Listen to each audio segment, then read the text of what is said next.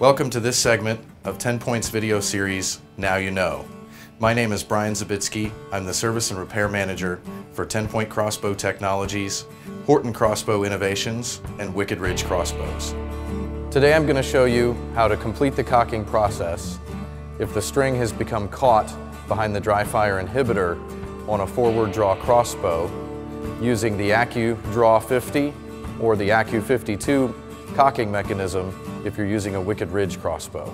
On all 10-point, Horton, and Wicked Ridge crossbows, the safety slide must be in the red fire position in order to cock the crossbow. Place your foot firmly in the foot stirrup. Grasp the hooks and handles and extend them downward towards the string. Attach the hooks to the string with the open part of the hook facing upward. Push the hooks as close to the flight rail as possible.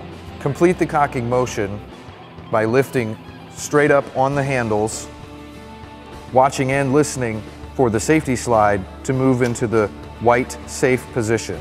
At the same time, with both hands, reach down and remove the hooks from the string.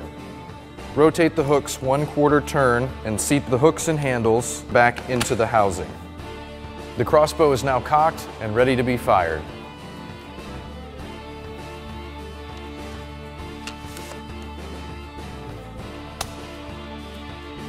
Please visit our website for more information or call our customer service department with questions.